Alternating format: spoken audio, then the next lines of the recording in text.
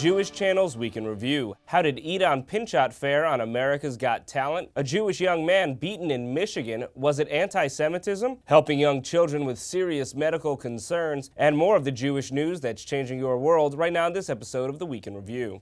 Hello, and welcome to the Jewish Channel's Week in Review. I'm Stephen I. Weiss. Was a young man in Michigan beaten in an anti Semitic attack? Statements from the college student and his parents differ from those offered by local police in a story spread widely but inaccurately last week.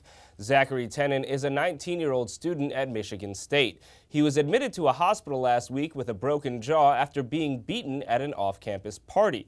He had emergency surgery to have his jaw wired shut and is now recuperating at home.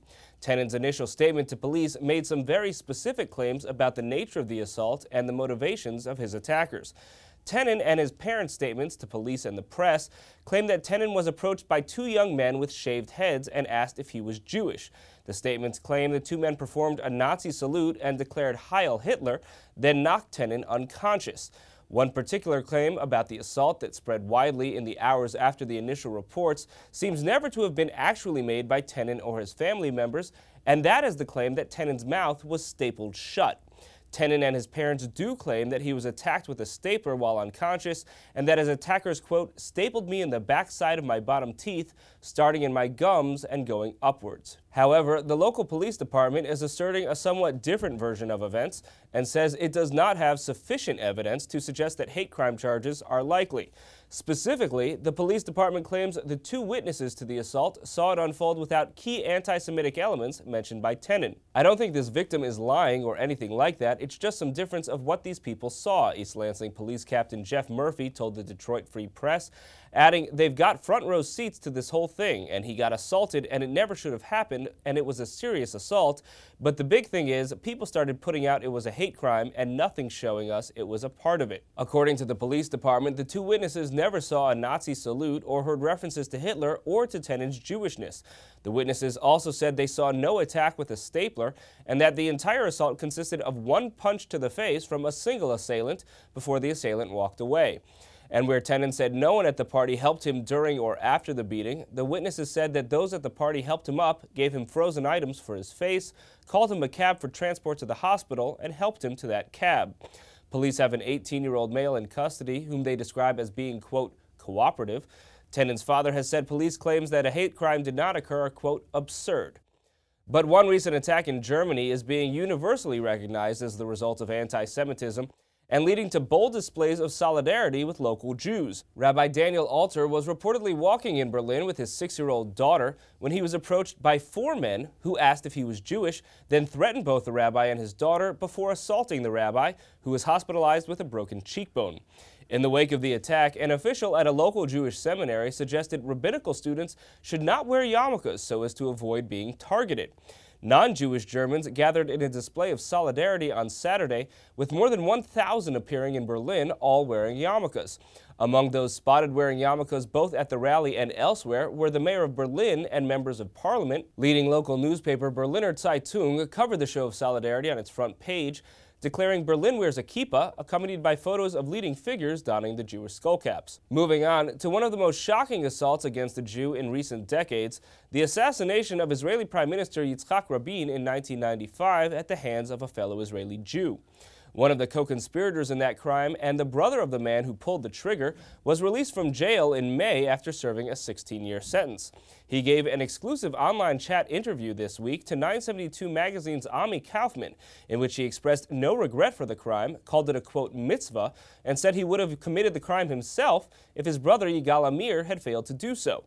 Asked if he feels any remorse, Amir responded, quote, Of course not. It didn't happen just out of the blue. We thought about it for two years. We acted according to Jewish halacha, and one must not regret doing a mitzvah. The Rabin assassination was inspired by and has continued to inspire so called price tag attacks from Israeli right wing extremists. An act of vandalism against a West Bank monastery this week fit that pattern. The monastery in Latrun was spray painted with names of communities that the Israeli government has declared illegal outposts. One of those, Migron, was evacuated by police this week. Inside the monastery, the vandals spray painted the message, Jesus is a monkey. A sort of spokesman for this segment, Baruch Marzel, told the Jerusalem Post after the vandalism, We said the evacuation of Migron would raise the anger and burning incitement from a public who feels embittered, adding, I hope that in the future the government and courts will avoid steps that only strengthen the polarization in the country and lead to price tag attacks. Moving on to a story here in the United States of a young Jew Jewish teen who is being celebrated for his positive achievements. One of America's highest rated TV shows is America's Got Talent, and one yarmulke wearing young man made it to the top 24 semifinalists on that show, as we reported last week.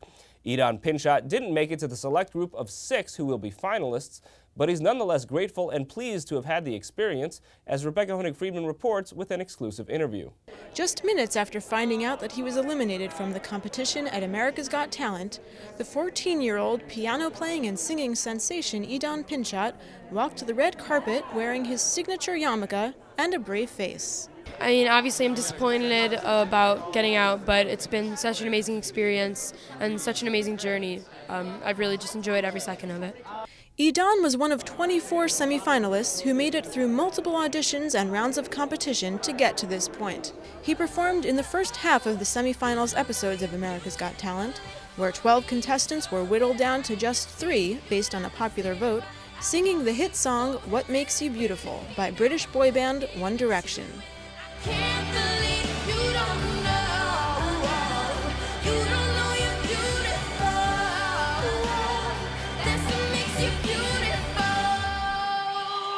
Edon got a standing ovation from the crowd and judges Howie Mandel and Sharon Osbourne, but Judge Howard Stern was more critical. I'm going to be very honest with you that I was a little bit bored by that song. Yeah. Edon said he had no hard feelings for Stern, however. Um, I definitely don't blame him. I mean, I think that he has a lot of good constructive criticism for everyone. Um, at the end of the day, there was a ton of amazing talent last night, and I mean, it was just whoever got through would have been amazing. He also stood by his performance. I felt my song choice was right. Um, I think between the artists and kind of just the fan base, I mean, everything fit for me. Um, you can't really please everyone, so. True enough, but Edon did manage to please a whole lot of people. What do you like about Edon? he was just like very inspirational that he was so young and that yeah yeah and, so and then he sang One Direction and One Direction rocks you know he was so adorable and he sang my favorite song I was uh, very impressed so was Howie Mandel I'm on the Jewish channel and with more than just Edon's talent. Oh, I love that he was there with the yarmulke. I, you know, I have nothing but the ut um, utmost respect for our religion and somebody who's willing to be who they are on stage and not, you know, uh, bend to what they think might make them more popular shows a strength in character and a strength in their soul that makes me proud to be a Jew. This season, all three judges on America's Got Talent just happened to be Jewish, including Stern. Lisa G. of Howard 100 News said she refers to her boss as, quote, the head Jew. Yes, that's what I call him. Yes, he is my rabbi. But Edon said that being an observant Jew hasn't been much of an issue on the show. I think that people have kind of learned to accept me for who I am, and they've kind of just realized that this is what I am, and this isn't, I'm not really going to change for anything. So, what's next for this talented teen? For right now, I'm just going to kind of settle down a little bit, um, but I think that in the future you could definitely expect some more original music and some more original stuff coming. And then, of course, there's high school to conquer. From Edon's active Twitter feed, where he has picked up thousands of followers, it appears this phenom is getting back to life as usual. Reporting for the Jewish Channel from the red carpet of America's Got Talent, I'm Rebecca Hoenig Friedman. Thank you, Rebecca. More than 180 young people affected by serious medical difficulties were cheered up by a recent effort, as Christian Needon reports.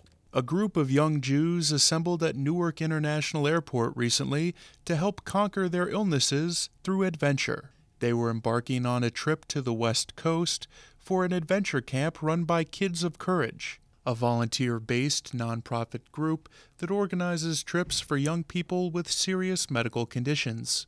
This particular trip featured 150 youth, aged 5 to 24 years old, flying to Los Angeles for nine days of summer fun, accompanied by volunteer counselors and medical staff on a large, medically outfitted plane, specially chartered by United Airlines for the occasion. Kids of Courage medical director Dr. Stuart Ditchek explained why he helped found the group four and a half years ago. There was a need for individuals like this who didn't have the opportunity to travel, not only in the summer, but year round as well. So we ski with them in the winter, we go to the West Coast in the summer, we do weekends, Shabbatons throughout the year uh, at different communities, different Jewish communities all over the country. Uh, and we recognized that if they didn't have us, they would just sit at home. One of those on the flight was 12 year old Racheli Hertzfeld from Teaneck, New Jersey. The idea of these trips is just to have like like an awesome time and just like and just like cure your illness through like adventure. So it's like really fun.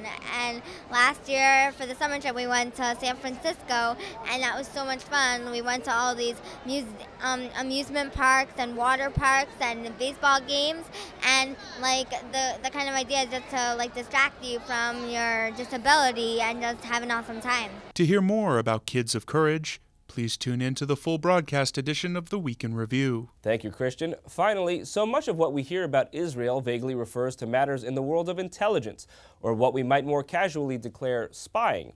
Meredith Gansman discovered this week some of the history behind what's so often called the spy game. I've always been fascinated with the world of the spy, the secrets, the gadgets, the inner intelligence, and now today I have my chance to experience this espionage firsthand. It's my mission, if you will, should I choose to accept it. What most of us know about spying comes from the movies, but a new exhibit at Discovery Times Square reveals the real world of espionage to be more complex than just heroes and villains and Jews have long been a part of this covert profession. Jewish history is replete with examples of espionage, going back to when Moses sent the spies to spy the promised land.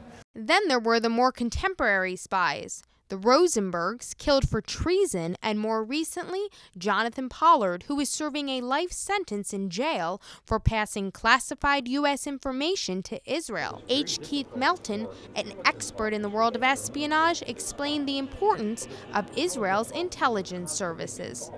Good intelligence may often be more powerful than 5,000 men on the battlefield. And I think the Jewish state going back into biblical times, has always realized that.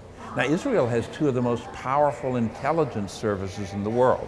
Your Mossad, which is a external service, your Shin Bet, which is the internal security service, and Aman, which is your military intelligence services. With its dangerous circumstances and notorious characters, the world of the spy has always had a glamorous appeal. Now, from the movies, they see that James Bond is about assassination and seduction. Mm-hmm. What they're going to see that in reality it's far more intricate. It's about information, it's about communication, it's about gadgets that help people communicate secretly. It's how disguises really work.